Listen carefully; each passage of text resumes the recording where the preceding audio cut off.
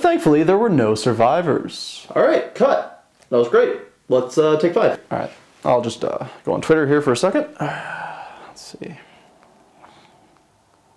Oh my God! Oh, fuck. Oh. Just... Oh, fuck.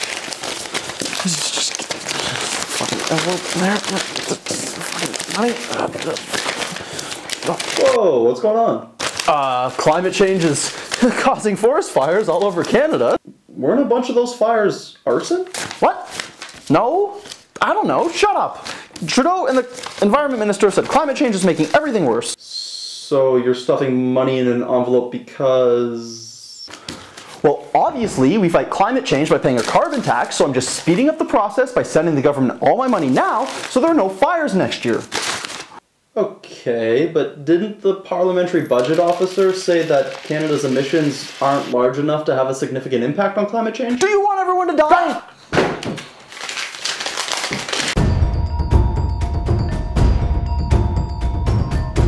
Good evening, you're watching government funded news.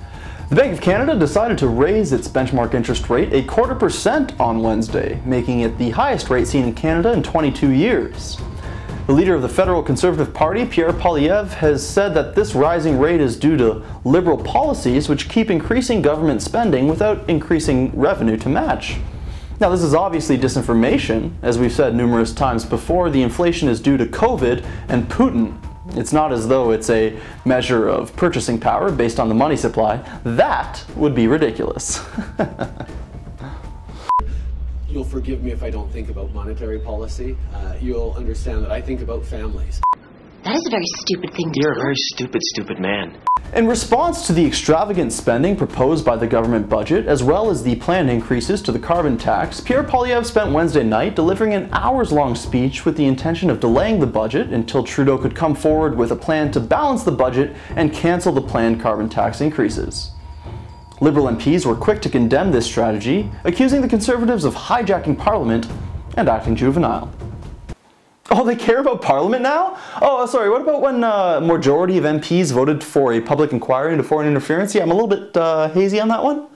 Uh, oh, that's right. Yeah, they didn't give a f- Well, that's all the time we have for tonight. Thanks for watching Go FU News. And remember, Canada can afford all the spending in the budget thanks to the historically low interest rates. Future governments are going to have to carry that debt. The servicing costs on that are going to be very high. Sorry? The, the servicing costs on the debt that you're going to have to carry that you're, you're adding to now, right? Interest rates are at historic lows, Glenn. Good night.